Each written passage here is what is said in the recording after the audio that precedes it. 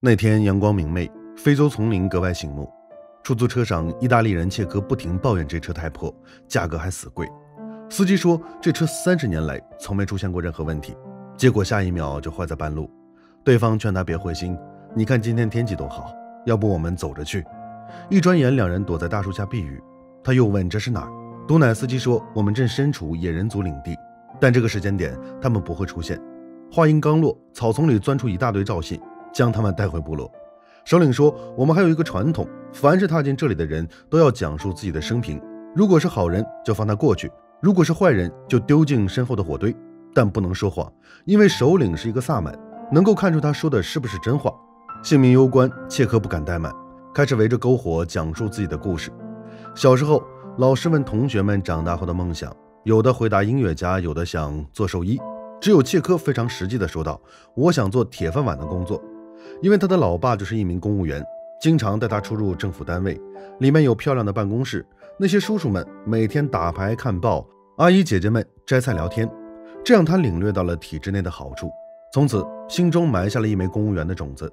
从那以后，切科头悬梁锥刺股，拼命练习盖章，终于小不点长大了，并在议员表舅的安排下，如愿的进入到体制内，工作的单位就在家对面，每天十二点左右。踩着单车一蹬就开始上班，他的工作就是盖章，给狩猎的人颁发许可证。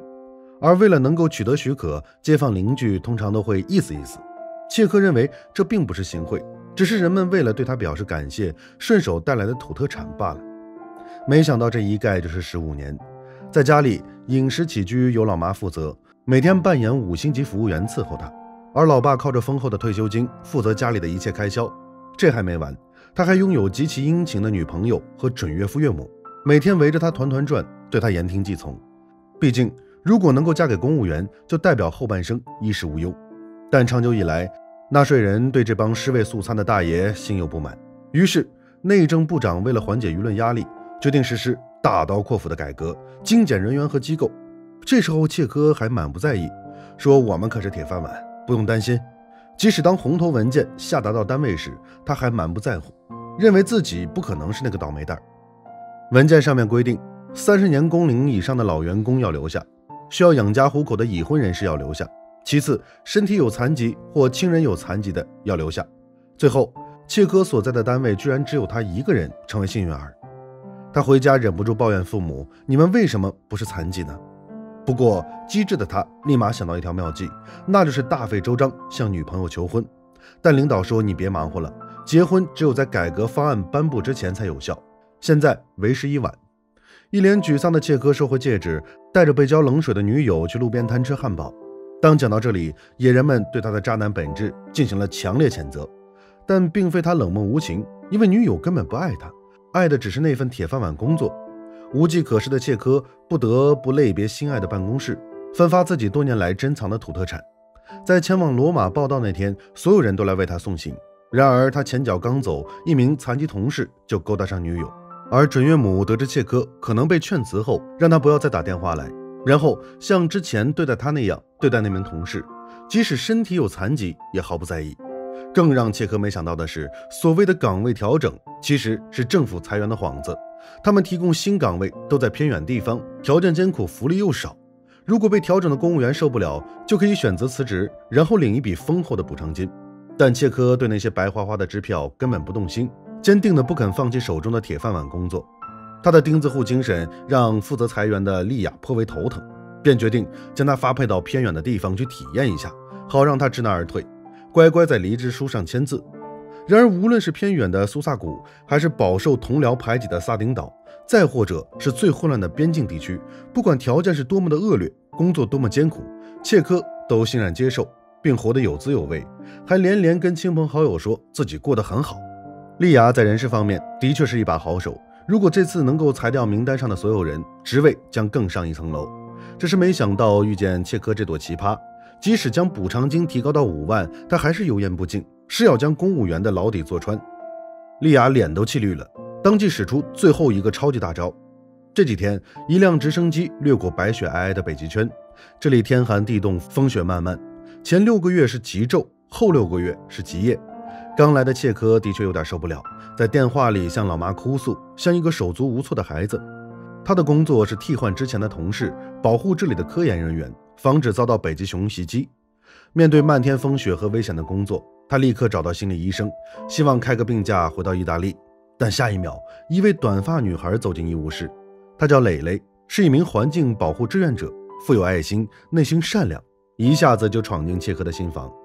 他瞬间掉到意大利人的爱情模式，当即决定不走了，并跟着蕾蕾浪迹北极圈。取样时，蕾蕾提醒他要注意背后，以防北极熊偷袭，他却醉得不知归路，痴痴看着对方的后背。果然，爱情的力量真是神奇，将这里从地狱变为天堂，一切都变得富有诗意。莉亚本以为切克受不了冰天雪地，就会返回意大利签字。可当他稳操胜券地打去电话，切科乐不思蜀，笑着说：“挺好的。”日子久了，蕾蕾对切科产生好感，主动邀请他走进自己的生活。两人乘坐轮渡，欣赏着挪威的海阔天空，一起来到他的美丽家乡。而蕾蕾作为一名精神白富美，足迹遍布世界。你看，这是我在非洲结交的男朋友，我们有一个黑人儿子。你又看，这是我在菲律宾结交的男朋友，我们有一个亚裔女儿。你再看，这是我在挪威的男朋友，我们有一个金发儿子。最后，这是我的恋人卡罗拉，我和她目前还没有孩子。切克的内心五味杂陈，没想到女神对全人类如此博爱。吃饭时，当孩子们得知他三十八岁没有结婚，还跟父母住在一起时，笑到不能自已，觉得他很奇怪。而在送孩子们上学途中，前方绿灯亮起，切克忍不住按喇叭催促前车。在足球比赛时，他让黑人小孩假摔，从而制造点球机会，但对方却告诉他这是不对的，违反了体育精神。回家途中，绿灯再次亮起，蕾蕾让他不要按喇叭催促。话音刚落，前车很快开走。切科就像发现了新大陆那般兴奋，原来这里跟意大利不一样，人们讲求文明和素养，到处都洋溢着一股文明气息。切科如同醍醐灌顶，原来自己真的很奇怪。他当即决定，是时候改变骨子里意大利人的不文明基因。他先从最简单的垃圾分类开始，又或者花费半天时间去银行，就为了练习文明排队。而在家里，还应该家务平等分工，甚至将蕾蕾的儿女们当作亲生孩子照顾。渐渐的，切科开始爱上挪威，而他和蕾蕾的爱情种子也终于生根发芽。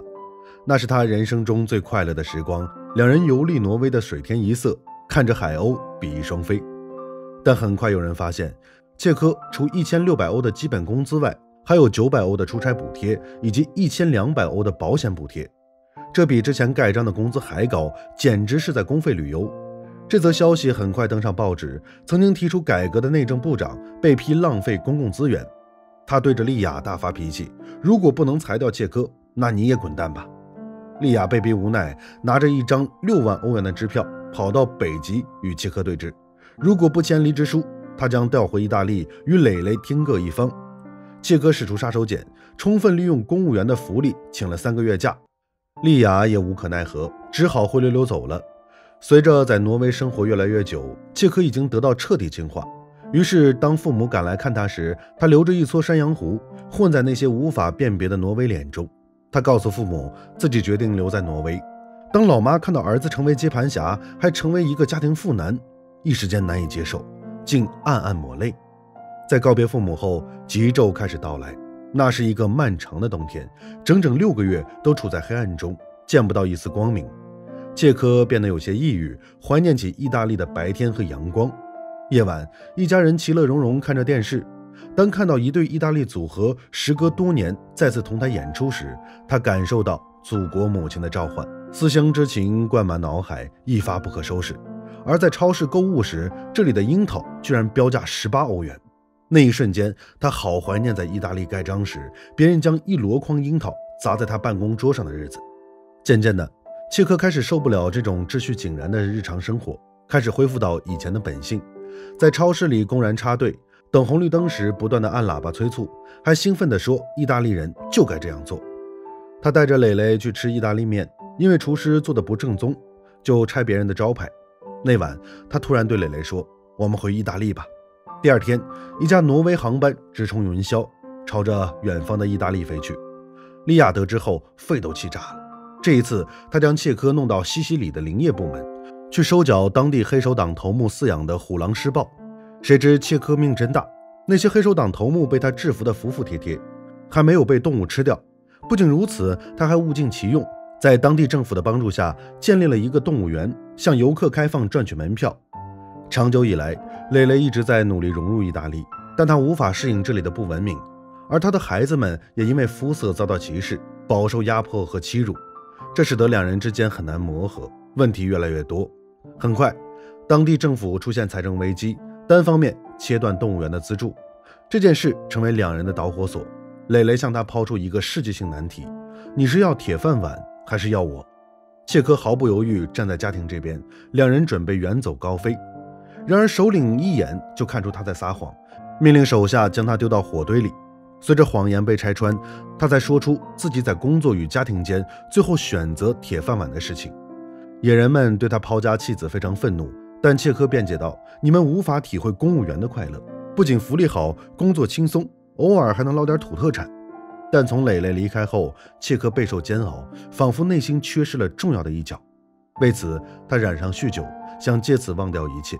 这时，利亚迫于切科这个障碍无法升职，便浓妆艳裹找到他。不惜以出卖身体的代价让他签字，但切科时刻保持着头脑清晰，不为金钱和美色诱惑。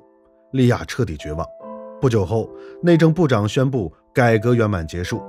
然而，实际情况是一份新的调令送到切科手中，让他重回以前盖章的单位，还是那间熟悉的办公室，还是熟悉的味道，还是以前的同事。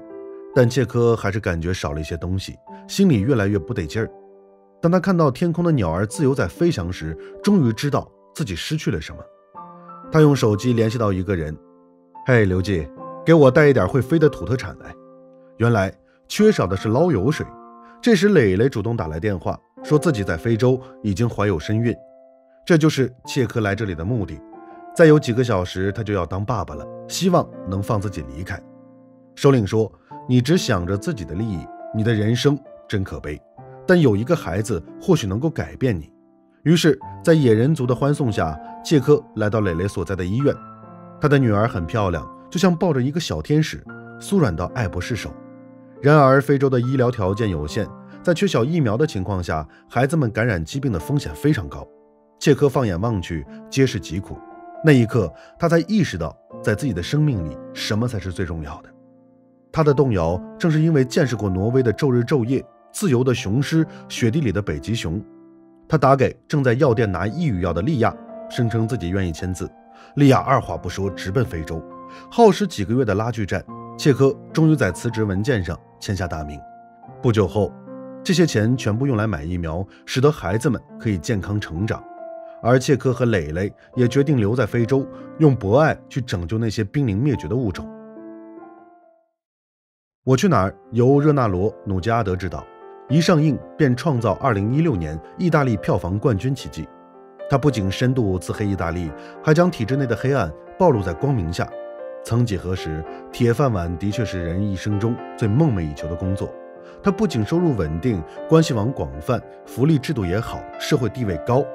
只是一成不变的日子，逐渐在磨灭我们向内和向外的野心。正所谓，生是见识，而不是活着。但我们也不要去否定那些立志将铁饭碗作为终身事业的人们。毕竟每个人都有适合自己的一种生活方式，都有独一无二的梦想与追求。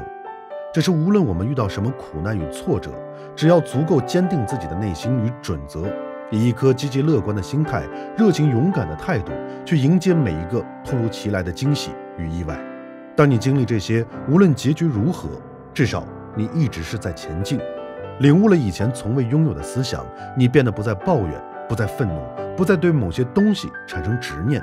到那时，你会看到不一样的自己，才发现人间的四月花是那么的美。好了，今天的故事就到这里，我们下期再见。